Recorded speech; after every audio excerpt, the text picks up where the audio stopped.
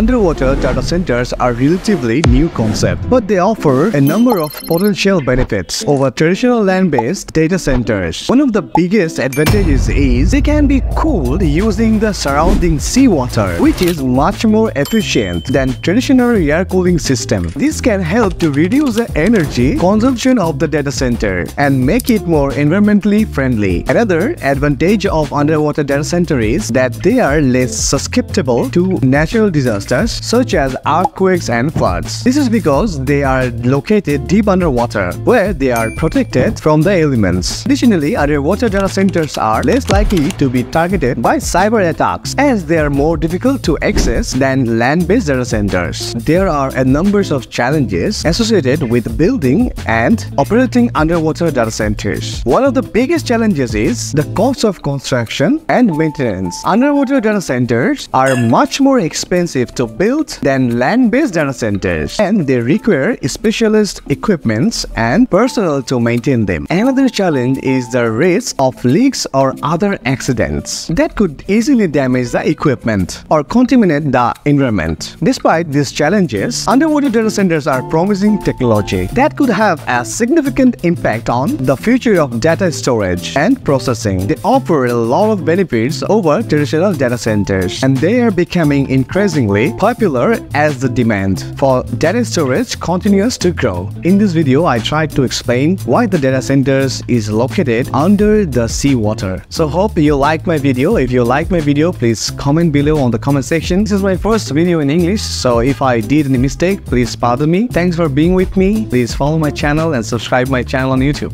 Take care of yourself. Bye bye from Ki kora Jay.